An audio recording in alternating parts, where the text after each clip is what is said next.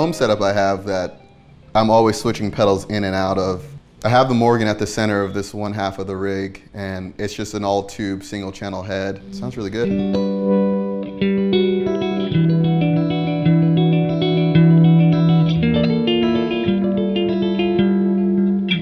I'm using this MXR carbon copy for a bit of delay. It has a bit of chorusing on the actual trail. Another pedal I love is my boomerang, which you know allows me to do um, certain phrases.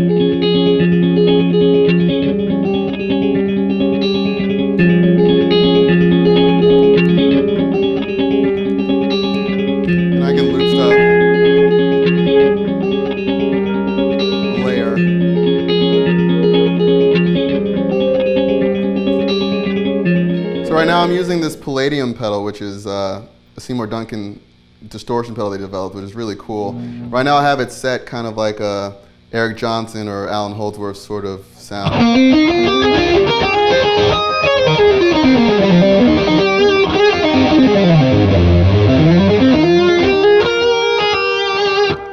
This thing has got a parametric EQ on it, so you can really get quite a few different sounds out of it.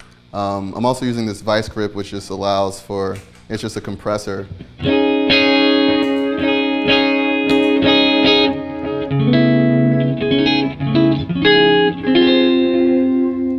Paul Reed Smith was gracious enough to send me a head, uh, his two-channel head. This one's actually a prototype, and uh, it's kind of what I'm using on this other half of the rig.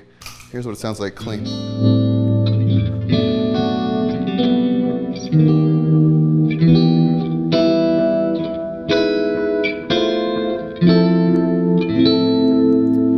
Thing about this rig is this hog pedal, which allows me to kind of do things like um,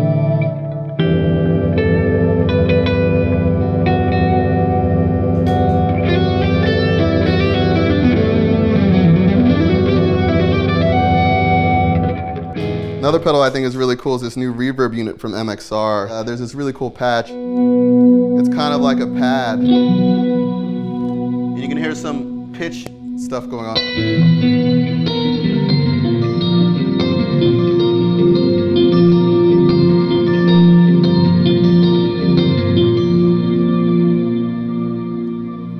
that's pretty sick. So combining them all together, you can get some pretty interesting stuff.